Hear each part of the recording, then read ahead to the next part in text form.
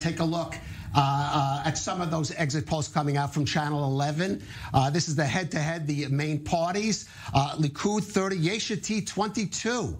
So uh, Yesh Atid, a little that that exit poll shows it a, a little lower uh, than uh, it had.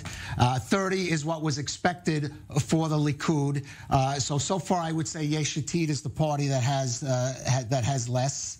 Uh, and so that is not a great sign. Uh, okay, so uh, I, there are some polls coming in, suggestions uh, that Benjamin Netanyahu, the bloc that is supporting Benjamin Netanyahu, will have a majority of uh, that, that Lapid is not seats. as good as expected. That could be a good sign for the parties of the Zionist left, but right? we have to wait and see. Okay, but I am seeing a uh, results from uh, exit poll uh, from uh, uh, what from the from Channel 11 that the bloc supporting Benjamin Netanyahu will have 62 seats as a and 54 for uh, Yair Lapid. Those results basically mean uh, uh, those exit poll results, if they correspond to actual results, mean that Benjamin Netanyahu will be returning to power. He'll have a, six, a minimum uh, 62 seat uh, mark uh, majority in the Knesset. And Dahlia, it looks like voter turnout, that was the key. The high Jewish, uh, the high general uh, voter turnout, which of course means uh, largely the, the Okay, we're going to just show, break it down a little bit. Uh, we see that the Netanyahu bloc, 62 seats. Is according to Channel 11, Kan Broadcasting. The Lapid bloc, uh, four, and Hadash-Ta'al, that is uh, one of the Arab parties, has four seats. Uh, and if those results call, hold, if those, if, if they are accurate, victory tonight, a comeback, political comeback for Benjamin Netanyahu. Can I just say, if Hadash-Ta'al's got four, Yeah. that means, according to any logic, they're still borderline. In other words, they are not guaranteed representation in the next Knesset. They're too close to That's the cutoff right. margin. Absolutely. Right. I stress But- but- again, yeah. these are exit polls. Uh, they are not actual results, and of course, uh, they could turn out differently. Uh, but uh, Dahlia trends favoring Benjamin Netanyahu. I mean, that's what I was starting to say before, is that the trends ahead of the elections showed a slow, very tiny, you had to look very closely to see it, but it was a rise for Netanyahu's bloc. He had started out this campaign with an average of 59 seats, and by the end, he was just over 60. So that, and those were the trends in the public polls, the last of which were published on Friday. If the trend continues, then this general outcome makes sense. Having said that, given that we've talked about the caution for a party that is hovering at four seats, I would still say that uh, the margin of two seats over, well, one seat over a majority, I think it's still too close to call. Okay, I think do want to say now, all three of the TV networks are showing that Benjamin Netanyahu, the bloc, gets uh, 61 seats or 62. Uh, Channel 12, Israel's Channel 12, 61 seats for the Netanyahu bloc. Uh, Channel 13, 62 seats for the Netanyahu bloc. Uh, Kan, Channel 11, the Israel's uh, sort of a government chase channel. Public Six- broadcaster. Public broadcasting, 62 seats. Uh, uh, we'll go there in a minute, but I imagine they're celebrating right now in Likud headquarters.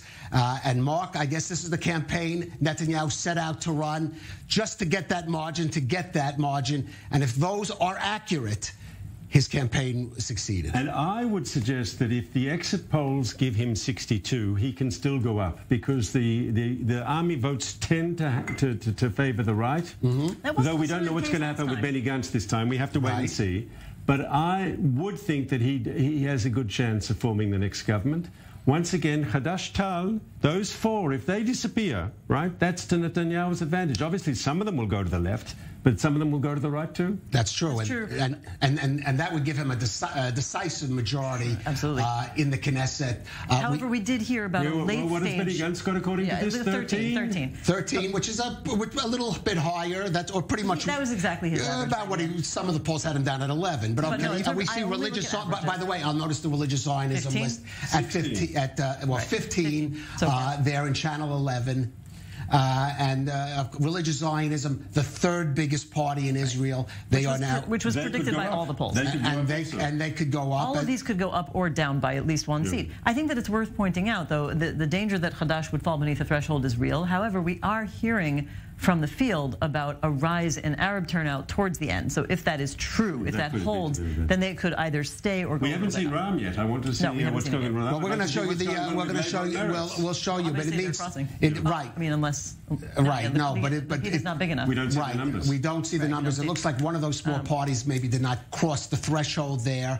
Uh, if these are ac- if these are accurate, and that would be the chance. But this is a victory for uh, Netanyahu for sure, for the right wing. And uh, if these are accurate, we have to start asking how this was achieved. Why did the Israeli electorate shift just enough? For Netanyahu to uh, make this, uh, We don't victory? really know if anybody shifted. What we know is that he ran a very aggressive get out the vote campaign. And in the places where Mark pointed out that there had been lower turnout, we can add Bat Yam to that list. I think that you didn't mention it before. sure. There were many places where there was just a few percentage points lower. And a few percentage points makes all the difference when the blocks are so closely tied. So we don't know for sure if people crossed over from the center to the right. What we do know is also, yeah, we don't think they did, but we do also know that, that Yamina, the outgoing party that held the premiership for the last year, which seems like completely off everybody's radar at this point, they were polling under the threshold. We don't, I, haven't seen any indication that they've crossed the threshold in this. Right. And they weren't expected to. And those are seven seats.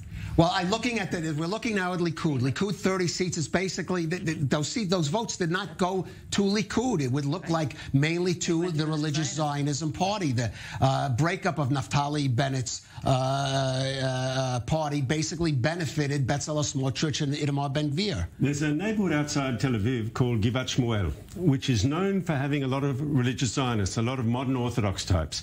In the last elections in Givat Shmuel, uh, uh, Naftali Bennett's Yamina party got 24% of the vote. That means, and they were the single largest party.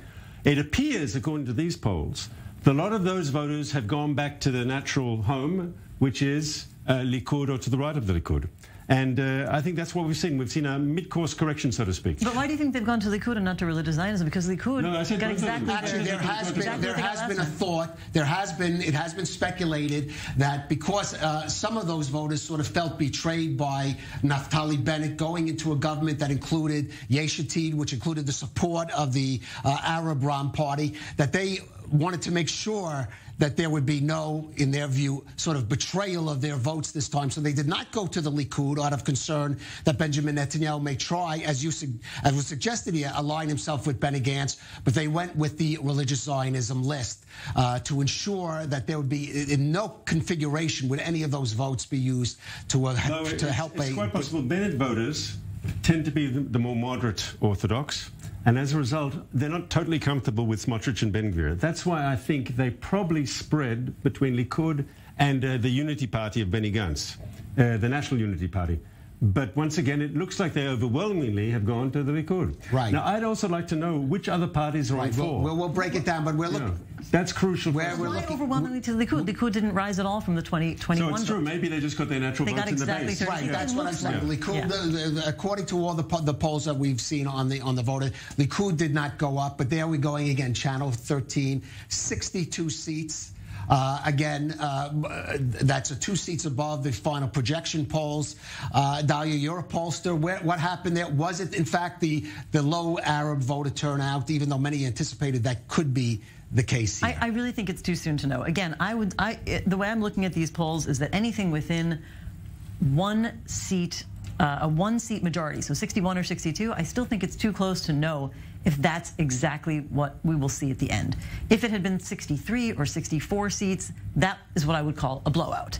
In the Israeli context, that would count as a more significant victory. It's too early to know. As far as we know, Arab turnout went up from last time, right? Arab turnout Right. last time was 44.5%. It seems to have gone up significantly, four or five points.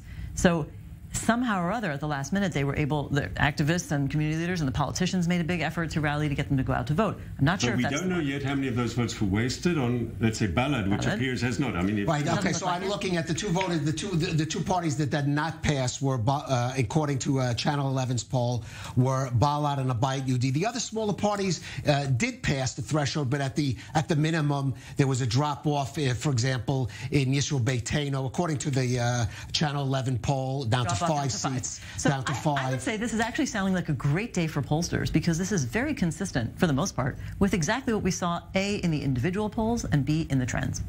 Right. Uh, there you on Channel 12, as you say, it's the it's 61. Really, just one seat difference than what the polling was was predicted. Uh, and again, it looks like those parties, those smaller parties we were discussing, all of them did manage to pass the threshold, but there was just enough drift off from some of them, maybe from Yisrael right. Beitenu, it could have been, uh, right. Uh, uh, to help uh, the Netanyahu bloc get to that 61. That's true, and I will remind people that there were plenty of there were plenty there were a number of surveys that did show the Netanyahu bloc getting 61 the, the average was 60 because there were more showing him getting 60. But there were it certainly wasn't. It, this is this is not at all a mistake of polling if it says 61 if that's what they what they reach because there were plenty of surveys. I'm reading. I'm reading on the Jerusalem well. Post uh, uh, website here. Uh, the 12 channel 12 and channel 13 polls uh, uh, have um, have Lieberman getting four seats. Now, right. Lieberman is down to four seats. That's a small revolution because he was that always in the polling doing right. better. Is it possible that we're seeing a generation? Okay, well let's take a let's take a look at that because there you see he did go down to five seats. Uh, you could see Shas. That, interesting. The Shas party now at ten. It's the United Torah Judaism. So the religious, definitely what we call the ultra orthodox community, yeah. which traditionally does come out vote high, but it's especially high uh, in uh, in in this election, and we see all of the components of the present government. Where is Labour there? It's, it's there, five exactly. No, it is exactly it is it there. Polling. Exactly where it was polling. Yes, time, five. and, yes. and Meretz is on four. Exactly yes, they all. So they're in a dangerous place. They're all in a dangerous. Where, where is Ra'am? Five. Also, yes, the Ra'am Party, all the, all the parties in the current his polls were all the parties in the in the in the current coalition that did compete in this election did pass the threshold, but dropped off. There's just enough of a drop off there yeah. that it gave the advantage to the pro Netanyahu pro Netanyahu block.